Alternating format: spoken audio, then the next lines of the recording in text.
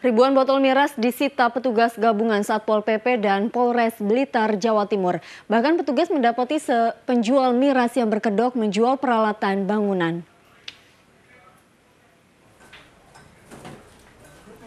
Sejumlah rumah warga digeledah petugas yang dicurigai menyimpan dan menjual miras. Hasilnya ratusan botol miras disita petugas dan salah satu rumah warga. Diduga miras tersebut akan dijual lelang peraya, jelang perayaan Idul Fitri mendatang. Tidak hanya itu, petugas juga mendapati sebuah toko bangunan yang menjual miras berbagai merek. Usai disita, petugas selanjutnya memberikan surat peringatan bagi warga yang kedapatan menjual miras tersebut untuk tidak kembali menjual miras. Eh,